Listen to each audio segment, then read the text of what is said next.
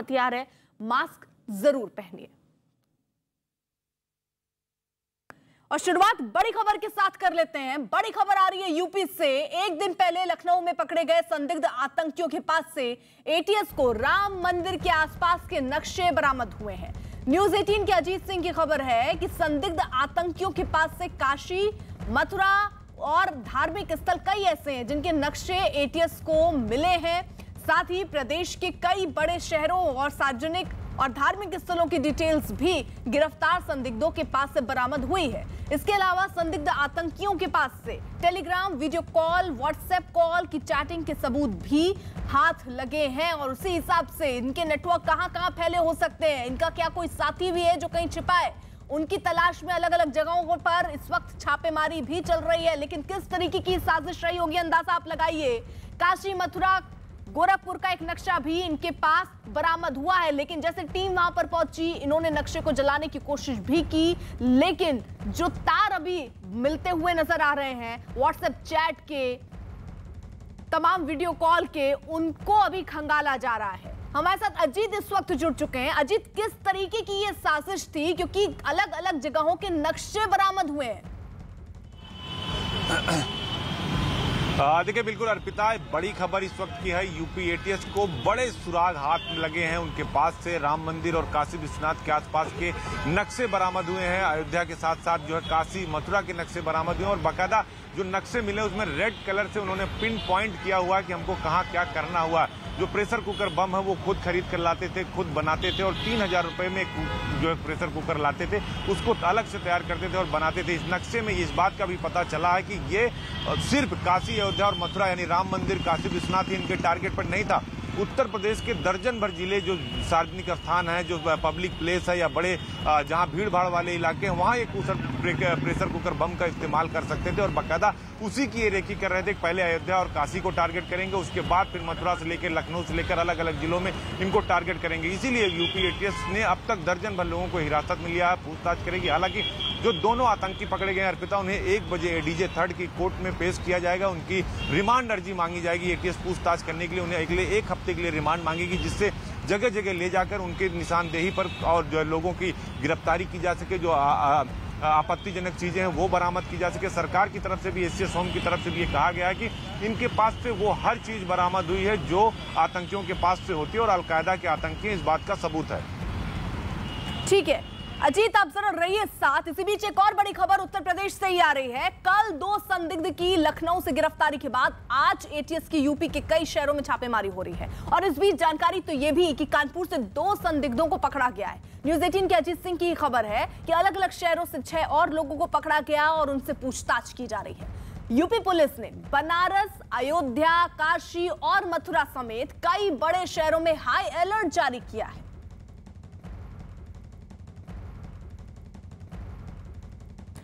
अजीत, यानी छह लोग देखिए अभी पकड़े गए हैं। यानी ये लंबा तार कनेक्शन नज़र आ रहा है, लंबा कनेक्शन जिसको खंगालने की कोशिश है। ये छह लोगों से पूछताछ में अभी तक कुछ साफ़ हो पाया?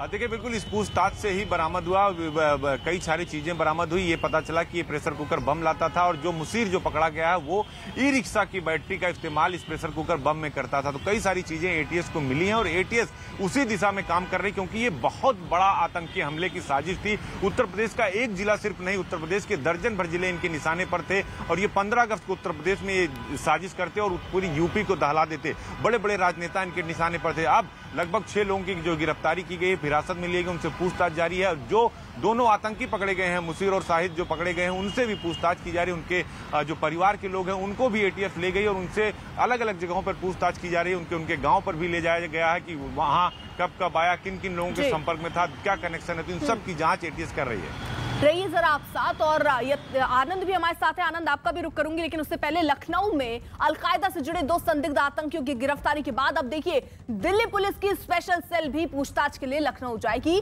न्यूज़ एटीन के आनंद तिवारी की ही खबर है कि दिल्ली की स्पेशल सेल ने साल 2015 में पैन इंडिया एक्यूआईएस मॉड्यूल का पर्दाफाश किया था और उस समय स्पेशल सेल ने छह आतंकियों को गिरफ़्तार किया, जिनमें से कुछ यूपी के थे। आनंद तिवारी की खबर कि लखनऊ से गिरफ़्तार किए गए दो आतंकियों का हैंडलर उमर हलमांडी दरअसल यूपी के संभल का रहने वाला है। अलमांडी का असली नाम सैयद अख्तर है, जिसने पाकिस्तान जाकर अपना नाम बदल लिया था। दिल्ली पुलिस की स्पेशल सेल की हिटलिस्ट में हलमांडी मोस्ट वांटेड है। इसके अलावा स्पेशल सेल की लिस्ट में एक और मोस्ट वांटेड आतंकी मोहम्मद शर्जिल उस्मान भी है और ये दोनों ही अलकायदा के आतंकी अब्दुल रहमान से मिले थे।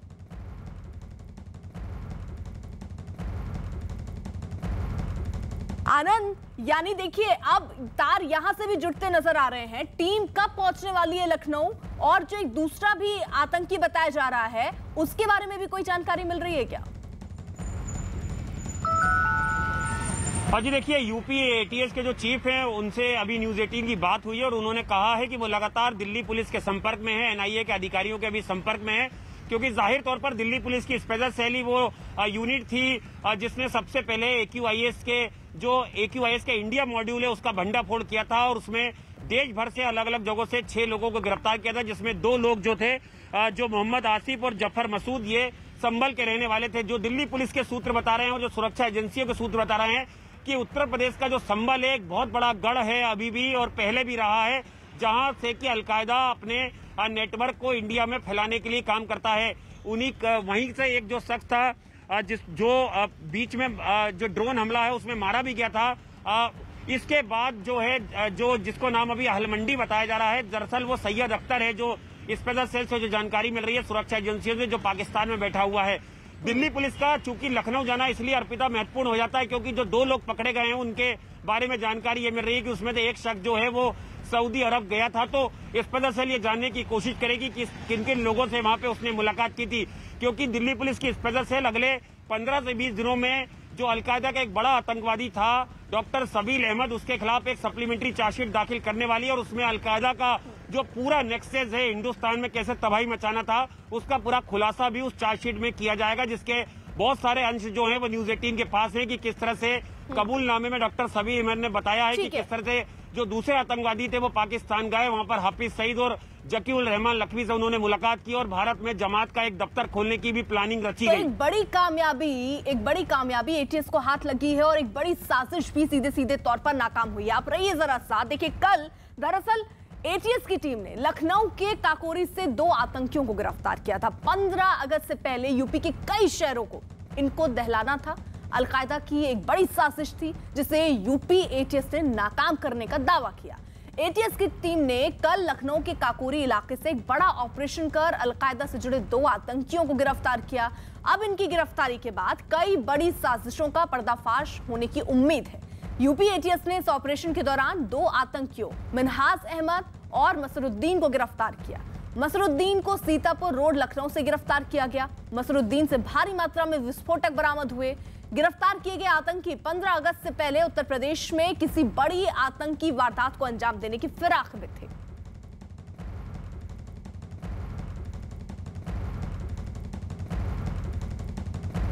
जरा ये दो तस्वीरें देख लीजिए। दो संदिग्ध आतंकी कल ही गिरफ़्तार हुए हैं। बड़ी साजिश इनकी थी, जिसको नाकाम किया गया है। बाकायदा विस्फोटक मिले हैं प्रेशर कुकर में बम मिले हैं तो ये कुल मिलाकर देखिए आप किस तरीके से यूपी को दलाने की साजिश इन आतंकियों के द्वारा रची जा रही थी? कितने और इनके साथी थे? इसलिए अलग अलग जगहों पर छापेमारी हो रही ताकि जल्द से जल्द उनको भी पकड़ा जा सके और पूरा इरादा इनका समझा जा सके कि किस तरीके की साजिश इन, इन्होंने रचने की मंशा बनाई थी। यूपी सरकार के अपर मुख्य सचिव गृह अवनीश अवस्थी ने न्यूज़ 18 से बातचीत में कहा कि गिरफ़्तार आतंकियों के अलकायदा के होने के पर्याप्त सबूत हैं और 15 अगस्त के लिए बड़ी साजिश रची गई थी। उत्तर प्रदेश की एटीएस ने बड़ी कामयाबी हासिल की है। उत्तर प्रदेश के कई इलाकों में आतंकी घटनाओं को अंजाम देने वाले अलकायदा दुनिया के सबसे खतरनाक आतंकी संगठन के दो आतंकियों को पकड़ा गया। हमारे साथ उत्तर प्रदेश के A C S Awasthi sir मौजूद है। सर, कितनी बड़ी कामयाबी है और बहुत बड़ी घटना को रोका आपने? देखिए एटीएस ने समय रहते बहुत तेज़ी से काम किया है। एटीएस बधाई की पात्र है। यूपी एटीएस ने लगातार जो है, मज़बूत कदम आगे बढ़ाए हैं। ये जो दो लोग पकड़े हैं, ये कभी भी किसी भी घटना को अंजाम दे सकते थे। और जैसा हमारे ए और आईजी एटीएस ने बताया पंद्रह अगस्त के आसपास जो है ये कोई भी संभावित घटना को कारित कर सकते थे। सर अयोध्या और काशी बिन के निशाने था कहा जा रहा है पंद्रह अगस्त को बड़ दहलाने की कोशिश करती है। देखिए हमारा प्रदेश सेंसिटिव प्रदेश है बड़ा प्रदेश है और हमारे प्रदेश में जैसा आपने कहा सभी सेंसिटिव प्लेसेस हैं तो निश्चय ही कुछ भी हो सकता है और आ, जो विदेशी ऐसी ताकतें हैं और इस तरह की अलकायदा जैसे यूनिट्स हैं, ये तो कहीं भी किसी भी जगह जो है, किसी भी जगह को, किसी को टारगेट कर सकते थे तो इसमें बहुत तेज़ी से काम किया गया है। लेकिन कहने का मकसद केवल यह है कि माननीय मुख्यमंत्री जी ने कल रात में इसको रिव्यू भी किया और बेसिकली उन्होंने कहा कि जो भी है, इसको हम लोग बहुत गंभीरता से आगे लेकर उसकी जड़ तक जाने की मंदी का नाम आ रहा है पाकिस्तानी हैंडलर है। वो इनको हैंडल कर रहा था टेलीग्राम के ज़रिए बातचीत कर रहे थे। बहुत बड़ी साजिश को इलियोग अंजाम देने वाले थे। इनके पास से प्रेशर कुकर बम विदेशी असलाह टाइम बम बरामद हुआ है। देखिए ये जो बरामद हुआ है तो आपको सामने दिख ही रहा है। और इसके बारे में तो हमारे पुलिस के अधिकारी बता चुके हैं। लेकिन मूल मूल बिंदु यह है कि प्रदेश की व्यवस्था को सुरक्षा को और मज़बूत करने के लिए एटीएस को और मज़बूत करने का निर्देश मुख्यमंत्री जी ने दिया है। पिछले कुछ समय से हम लोग जो है लगातार एटीएस में और अधिकारी मैन पावर और जो है हथियार इसमें जो अत्याधुनिक चीज़ें ये बढ़ाने जा रहे हैं आप जी एटीएस में नया इक्विपमेंट दिया जा रहा है मॉडर्न इक्विपमेंट दिया जा रहा है। एटीएस को मैन पावर अतिरिक्त दिया जा रहा है। एटीएस को वेपन्स और बेहतर दिए जा रहे हैं तो यूपी एटीएस को और मज़बूत करने का बहुत स्पष्ट कनेक्शन कानपुर से भी आए हैं। कानपुर में भी छापेमारी एटीएस की चल रही है। कितनी जगह छापेमारी चल रही है और किस तरह आपने इस पूरे इनके मॉड्यूल को हैंडल किया है? देखिए, ये बताना तो बहुत मुश्किल है कि अभी कहाँ कहाँ इनके मॉड्यूल हैं, क्योंकि काफ़ी हद तक जो है कार्रवाई अभी ऑनगोइंग है। लेकिन जैसे जैसे इसमें खुलासा होता जाएगा, कार्रवाई होगी। पॉइंट केवल यह है कि आम जन को भी बहुत सतर्क रहना है कि कहीं भी किसी भी तरह की, इस तरह की कहीं कोई बात आती है लोगों को बगल में नेबरहुड में ऐसी कोई चीज़ समझ में आती है तो उसमें जो है उनको आगे ज़रूर आना चाहिए और पुलिस को, यूपी पुलिस को एटीएस को कहीं ना कहीं सपोर्ट करना चाहिए।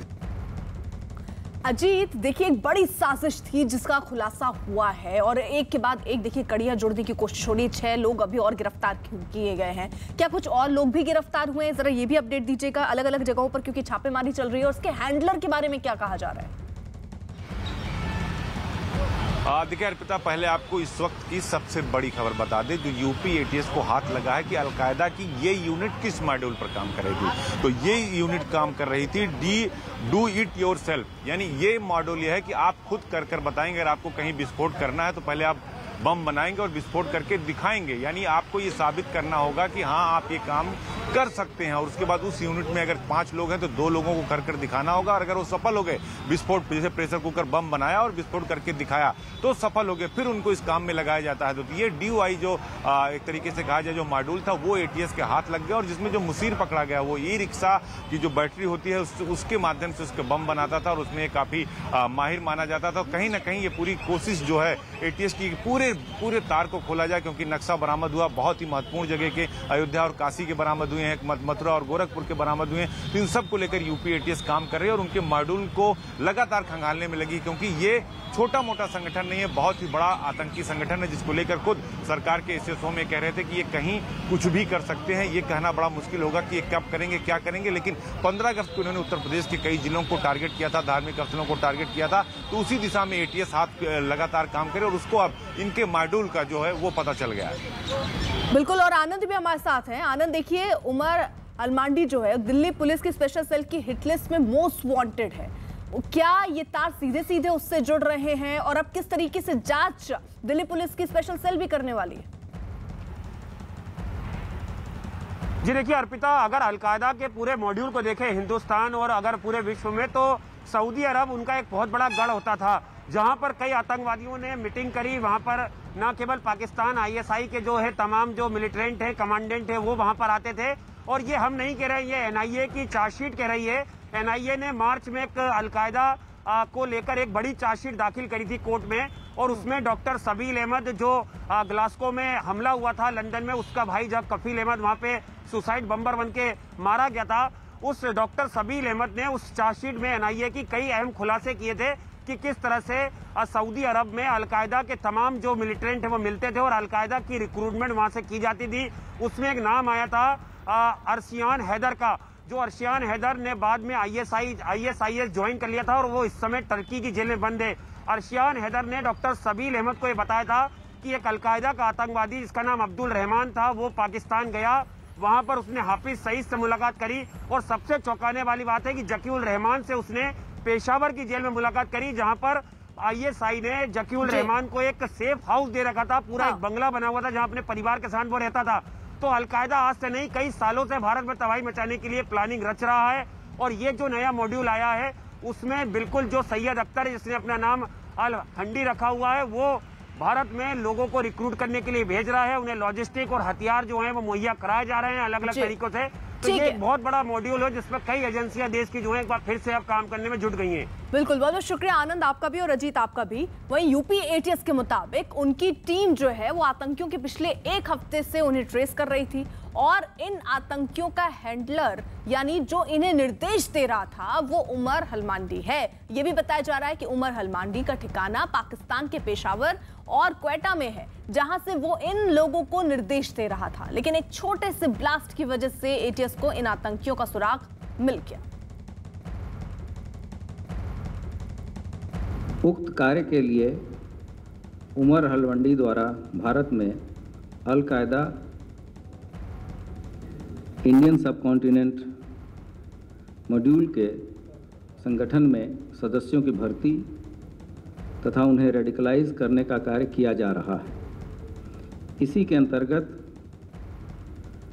उमर हलमंडी ने कुछ जिहादी प्रवृत्ति के व्यक्तियों को लखनऊ में चिन्हित कर एवं उन्हें नियुक्त कर अलकायदा का मॉड्यूल को खड़ा किया गया है।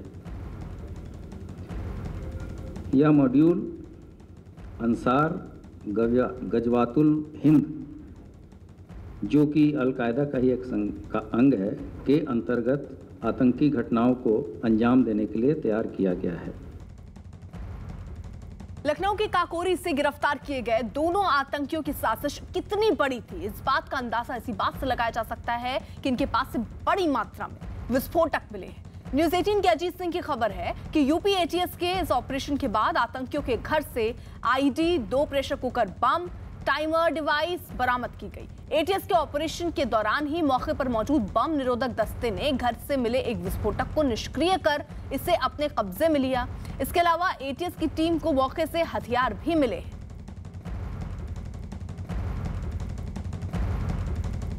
कल काकोरी से दो आतंकियों की गिरफ्तारी के बाद यूपी पुलिस अलर्ट पर है। आतंकियों के दूसरे साथियों की तलाश तेज हो गई है। रेलवे स्टेशन और ट्रेनों में भी तलाशी अभियान चलाया जा रहा है। रेलवे प्रशासन के साथ साथ आरपीएफ और जीआरपी हाई अलर्ट पर है। खासतौर पर ट्रेनों की जाँच की जा रही है। यूपी पुलिस को शक है कि गिरफ़्तार किए गए आतंकियों के कई और साथी हैं जो फ़िलहाल फरार है। अब पुलिस को उनकी तलाश है। आतंकवादी गतिविधियों के मद्देनजर संदिग्ध सवारी और उनके सामान की चेकिंग जो है की गई। ताकि किसी उनके अंदर कोई अनपेक्षित जो है चीज़, वस्तु, सामान को लेकर के यात्रा न करें। ट्रेन में भी चेकिंग किया गया था, स्टेशन के प्लेटफॉर्म पर भी यात्री, संदिग्ध यात्री को नज़र आया तो उसके सामान की चेकिंग किया गया। अयोध्या से इसी बीच एक बड़ी खबर आ रही है। लखनऊ से दो आतंकियों की गिरफ्तारी के बाद अयोध्या और खासतौर पर राम मंदिर के आसपास के जो इलाके हैं, वहाँ पर सुरक्षा घेरा और सख्त कर दिया गया है। हर आने जाने वालों पर नज़र रखी जा रही है। साथ ही संदेह होने पर गाड़ियों की तलाशी भी ली जा रही है। 5 जुलाई 2005 में अयोध्या में एक आतंकी हमला हो चुका है। लिहाजा सुरक्षा के लिहाज से यूपी पुलिस पूरी तरह से सतर्क है। लखनऊ में हम लोगों को कुछ सूचना मिली कि जो है कुछ आतंकवादी पकड़े गए हैं। उसको मद्देनज़र हम लोग और हाई अलर्ट करते हुए चेकिंग कर रहे हैं। जैसा कि आप देख रहे हैं, पूर्व में भी हमारे यहाँ पर ड्यूटी पर लगे सभी सुरक्षाकर्मी चेकिंग कर रहे हैं। एक एक आदमी को एक एक गाड़ी की आईडी देखी जा रही है। और बाहरी व्यक्ति ही नहीं, बल्कि इंटरनल गाड़ियों को भी हम लोग चेक कर रहे हैं। चेक करके ही अंदर जाने दे रहे हैं। अब खबर सैलाब के कहर से जुड़ी।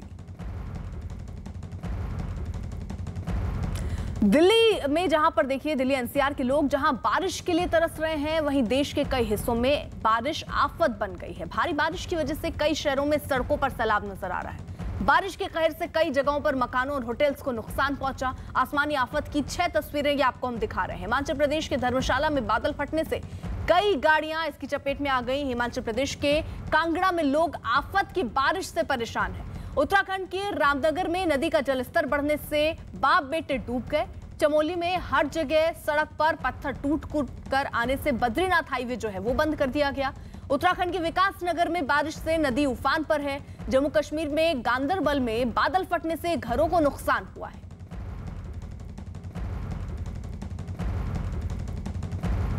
हिमाचल प्रदेश के धर्मशाला से एक और बड़ी खबर आ रही है। न्यूज़ 18 के विचित्र शर्मा की खबर कि वहाँ बादल फट गया है, जिसकी वजह से वहाँ के हालात बिगड़ गए। भारी बारिश की वजह से वहाँ के एक नाले में सैलाब आ गया। उसका पानी सड़कों पर तेज़ी से बहने लगा, जिसमें कई गाड़ियाँ बह गई। आसपास के इलाकों में भी पानी भर गया। बादल फटने की वजह से कई होटल्स को भी नुकसान पहुँचा।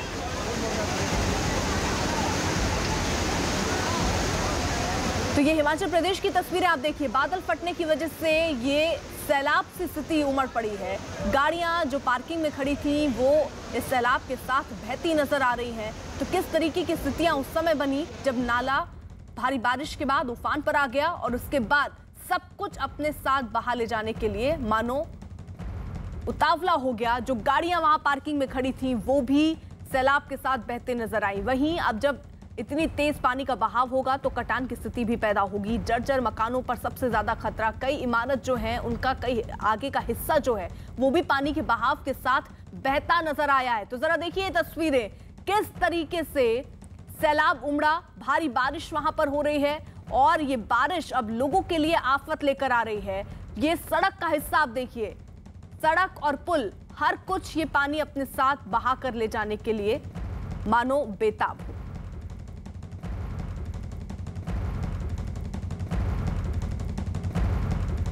अवेयरनेस की बात है तो मैं सभी लोगों से अपील करना चाहूँगा कि क्योंकि बरसात का सीज़न शुरू हो गया है और बरसात के सीज़न में हमें कभी पता नहीं चलता कि कब हाइट्स के ऊपर बारिश हो जाती है पहाड़ों में बारिश हो जाती है। और क्योंकि कांगड़ा का हमारा जो निचला क्षेत्र पड़ता है अ, वहाँ पर पता नहीं चलता कि कब पहाड़ में बारिश हो गई और कब पानी का स्तर एकदम बढ़ करके जो लोग खड़े में नहा रहे होते हैं तो उनकी जान को कभी भी खतरा हो सकता है। तो बादल फटने की वजह से इलाके में भारी नुकसान हुआ। ये बताया जा रहा है कि कई लोग बादल फटने की वजह से, आई बाढ़ की वजह से वहाँ पर फंस गए। दो तस्वीरें जरा हम आपको दिखा दें। पहली तस्वीर वहाँ बहने वाले एक नाले की, जिसमें बादल फटने की वजह से बाढ़ आ गई।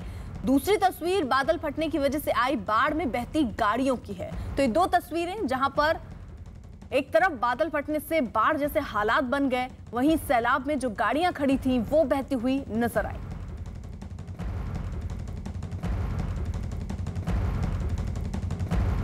तो ये तस्वीरें दो जरा स्थिति को बयां करने के लिए ये तस्वीरें ही काफ़ी हैं। मानसून की बारिश के बाद स्थिति कुछ ऐसी कि नाले उफान पर आ गए और सैलाब सा बहता हुआ अब लोगों के घरों के बाहर नज़र आ रहा है।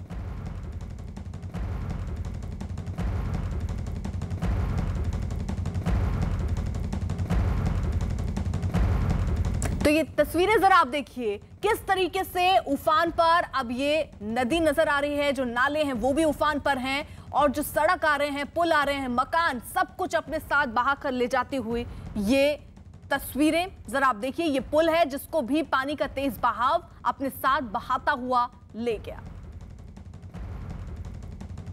वही हिमाचल प्रदेश के कुल्लू में तो भारी बारिश की वजह से सड़क पर पहाड़ का मलबा आ गया, जिसकी वजह से एक कार मलबे में फंस गई। मामले की जानकारी फ़ौरन पुलिस और प्रशासन को दी गई, जिसके बाद खुदाई करने वाली मशीन की मदद से कार को मलबे से बाहर निकालने का काम शुरू किया गया।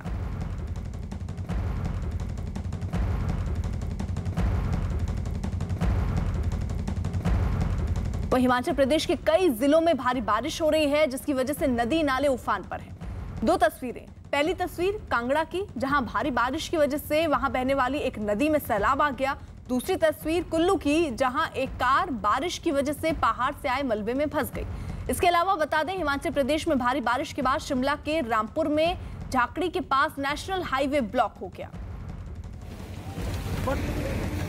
तो दो तस्वीरें हम आपको दिखा रहे हैं। किस तरीके से भारी बारिश के बाद नदियाँ उफान पर हैं और पानी जो है वो अलग अलग इलाकों में भी पहुँचता जा रहा है। खतरा उन इलाकों पर भी मंडराता नज़र आ रहा है, जो थोड़े नज़दीक है। वहीं देखिए, कुल्लू में मलबे में ये कार फंसी, जिसको हटाने के लिए मशीन मंगाई गई, उसके बाद मलबे को आसपास से हटाया गया और इस कार को निकालने की कोशिश की गई। इसी बीच जम्मू कश्मीर से एक बड़ी खबर आ रही है, जहाँ भारी बारिश की वजह से जम्मू श्रीनगर हाईवे पर उधमपुर के पास पहाड़ से बड़े बड़े पत्थर आ गए, जिससे पूरी सड़क जो है वो बंद पड़ गई। सड़क बंद होने के बाद जम्मू से कश्मीर की तरफ़ जाने वाली सभी गाड़ियों को रोक दिया गया। रास्ता बंद होने की वजह से सड़क पर लंबा जाम लग गया, जिससे लोगों को काफ़ी परेशानी का सामना करना पड़ रहा है। हालाँकि प्रशासन की टीमें खुदाई करने वाली मशीन की मदद से हाईवे से पत्थरों को हटाने के काम में जुटी हैं। तो ये तस्वीरें आप देखिए जरा। भारी बारिश की वजह से ये हाईवे की तस्वीरें भी हम आपको दिखाएँगे, जहाँ पर देखिए भारी पत्थर जो हैं, वो सड़क पर आकर गिर गए। उन्हें हटाने का काम चल रहा है, लेकिन भारी बारिश की वजह से ये सिलसिला रुक नहीं रहा है। बार बार पहाड़ जो हैं, वो सड़क पर गिर रहे हैं, जिसके बाद से ये हाईवे भी बंद करना पड़ा है। बड़े पहाड़ के ये टुकड़े आप देखिए। गनीमत ये रही कि उस वक्त कोई गाड़ी यहाँ से गुजर नहीं रही थी। वक्त रहते ही वहाँ रास्ते को बंद कर दिया गया था। फ़िलहाल ये तस्वीरें उधमपुर की। वहीं उत्तराखंड के कई जिलों में भारी बारिश हो रही है। चमोली में तो भारी बारिश की वजह से बद्रीनाथ हाईवे का पर पहाड़ का मलबा आ गया। और यही नहीं, बद्रीनाथ हाईवे पर मलबा आने की वजह से उसको सात जगहों पर बंद किया गया, जिससे लोगों को काफ़ी परेशानी हो रही है।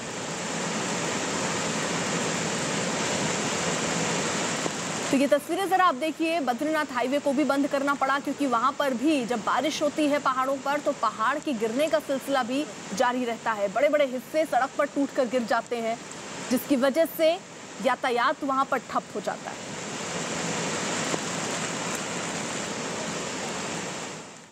अब खबर आसमान से बरसी, मौत से जुड़ी।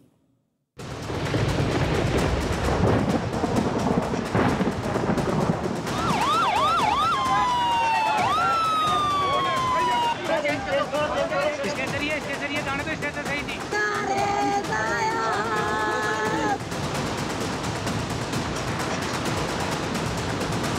बार गिरी थी बिजली, वहाँ पर भी आप देख सकते हैं कि रेस्क्यू टीमें ऊपर है। अगली खबर, राजस्थान के जयपुर से। राजस्थान के आमेर में आसमानी बिजली गिरने से 11 लोगों की मौत की खबर है। मौसम में आए बदलाव के बाद बड़ी संख्या में लोग आमेर की पहाड़ियों पर घूमने पहुँचे थे। वहाँ अचानक बिजली गिर गई। बिजली गिरने से 11 लोगों की मौत की खबर है। 12 लोग गंभीर रूप से झुलस गए। बिजली गिरने की जानकारी मिलते ही पुलिस और एसडीआरएफ की टीम मौके पर पहुँची और घायल लोगों को फ़ौरन अस्पताल पहुँचाया गया। जिस जगह आसमानी बिजली गिरी, वहाँ दोनों ओर गहरी खाई है। रेस्क्यू ऑपरेशन अभी भी जारी।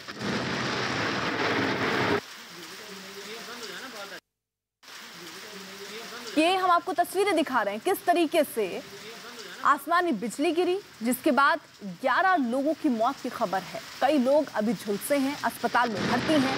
फ़िलहाल रेस्क्यू ऑपरेशन वहाँ पर जारी है, टीमें वहाँ पर मौजूद हैं और क्योंकि दोनों तरफ़ खाई है, कहीं कोई लोग खाई पर तो गिरे नहीं हैं, घायल अवस्था में तो नहीं है, इसलिए रेस्क्यू ऑपरेशन भी चलाया जा रहा है।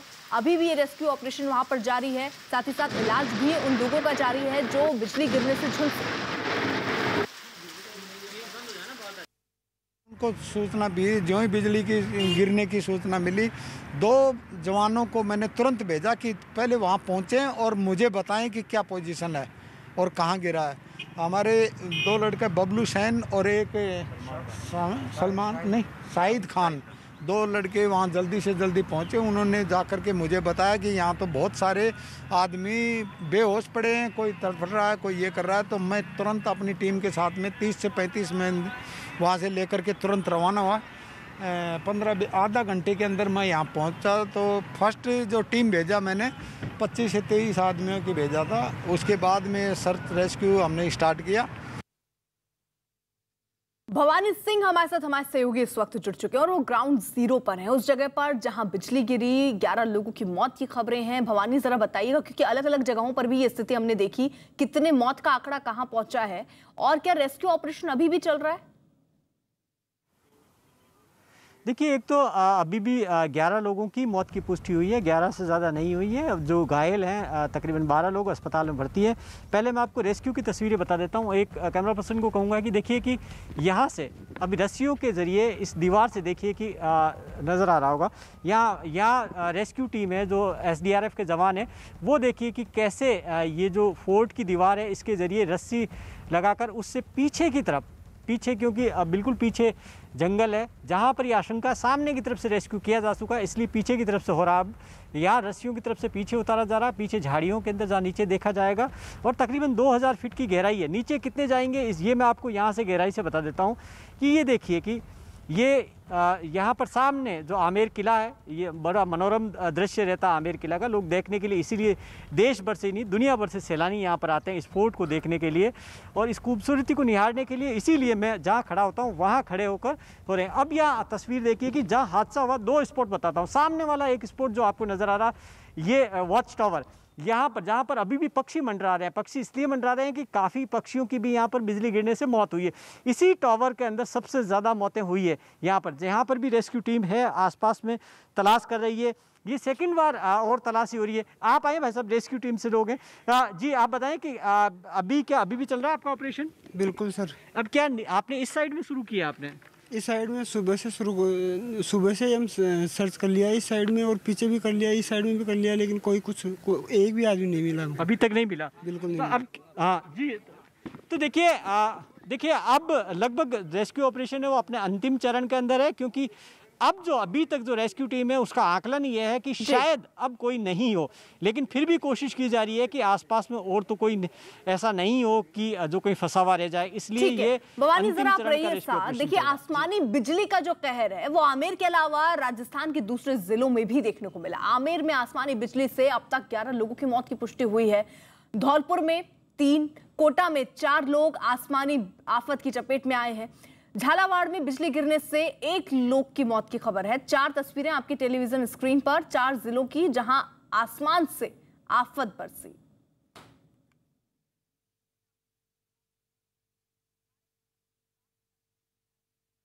पीएम मोदी ने राजस्थान में आसमानी बिजली गिरने से हुई मौत पर दुख जताया। उन्होंने एक ट्वीट किया और लिखा कि राजस्थान के कुछ इलाकों में आकाशीय बिजली गिरने से कई लोगों को अपनी जान गंवानी पड़ी। इससे अत्यंत दुख हुआ। मैं मृतकों के परिजनों के प्रति अपनी गहरी संवेदना व्यक्त करता हूँ। वही यूपी के आसमानी बिजली गिरने से राज्य में अब तक 40 लोगों की मौत की खबर है। कानपुर और आसपास के जिलों में 18, प्रयागराज में 13, कौशाम्बी में तीन प्रतापगढ़ में एक आगरा में तीन और वाराणसी रायबरेली ज़िले में एक एक व्यक्ति की जान चली गई है। फिरोजाबाद में बिजली गिरने से तीन लोगों की मौत की खबर है। आसमानी बिजली गिरने से कई लोग घायल हुए हैं। यही नहीं, आसमानी बिजली गिरने से कई मवेशियों की भी जान चली गई।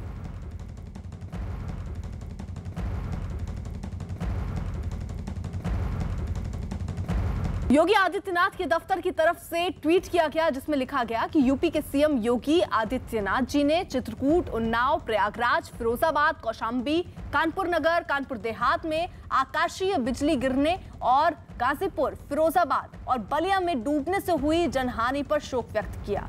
उन्होंने मृतकों के शोक संतप्त परिजनों के प्रति संवेदना व्यक्त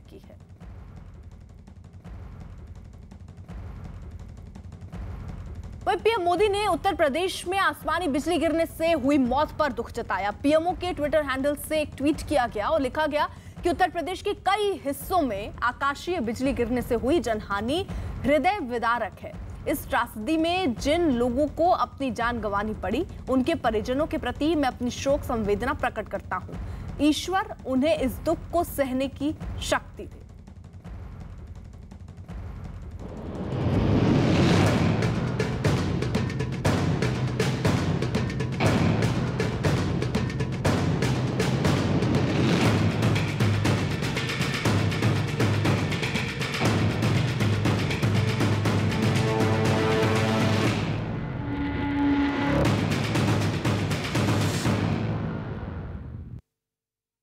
दूसरी लहर अभी खत्म नहीं हुई है। अभी भी हर दिन चालीस हज़ार से ज़्यादा केस आ रहे हैं। हर रोज इस महामारी की वजह से 800 से ज़्यादा लोगों की जान जा रही है। लेकिन इसके बाद भी लोग संभलने को राज़ी नहीं है। कोरोना केस में कमी आने के बाद अनलॉक प्रक्रिया के तहत पाबंदियों में ढील दी गई, जिसके बाद छुट्टियाँ मनाने की, जैसे होड़ सिमच गई। खासकर हिल स्टेशन पर मौज मस्ती करने के लिए लोगों का सैलाब उमड़ पड़ा है। आपके सामने ये पाँच तस्वीरें हैं। पहली तस्वीर, हिमाचल प्रदेश की राजधानी, शिमला की। यहाँ वीकेंड पर सैलानियों की भारी भीड़, छुट्टियाँ मनाने पहुँच गई। दूसरी तस्वीर, मुंबई के नज़दीक लोनावला की। यहाँ भी लोग बेखौफ होकर घूमने फिरने में मशगूल हैं। तीसरी तस्वीर, उत्तराखंड के मसूरी की। यहाँ सैलानियों की वजह से देहरादून, मसूरी सड़क पर लंबा जाम लग गया। चौथी तस्वीर जम्मू कश्मीर के पटनी टॉप की है। यहाँ भी मौज मस्ती करने वाले लोगों का हुजूम उमड़ा दिखा। पांचवी तस्वीर जो आप देख रहे हैं, वो दिल्ली की है, जनपद मार्केट की, जहाँ खरीदारी के लिए लोगों की भीड़ जुटी दिखाई दी है।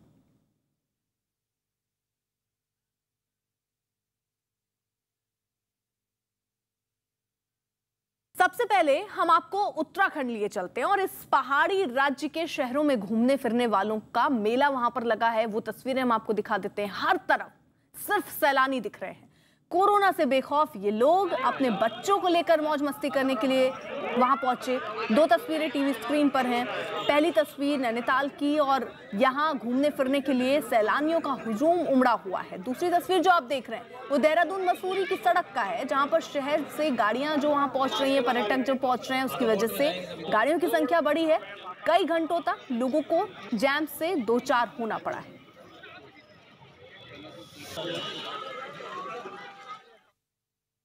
अब जरा उत्तराखंड के नैनीताल से आई इन तस्वीरों को भी देखिए। मौज मस्ती करने वालों का यहाँ जैसे सैलाब उमड़ पड़ा है। भीड़ इतनी कि शहर में पैर तक रखने की जगह नहीं है। ना कोरोना का खौफ है, ना नियमों को मानने का डर है। लोगों ने जैसे ठान लिया हो कि उन्हें कोरोना हो ही नहीं सकता है। ऐसा लग रहा है जैसे कोरोना देश में कभी आया ही नहीं। जबकि हकीकत यह है कि तीसरी लहर का खतरा बना हुआ है और ऐसे हालात रहे तो तीसरी लहर आने में ज़्यादा वक्त नहीं लगेगा। हालात संभालने के लिए प्रशासन ने वहाँ सख्ती बरतनी शुरू कर दी है।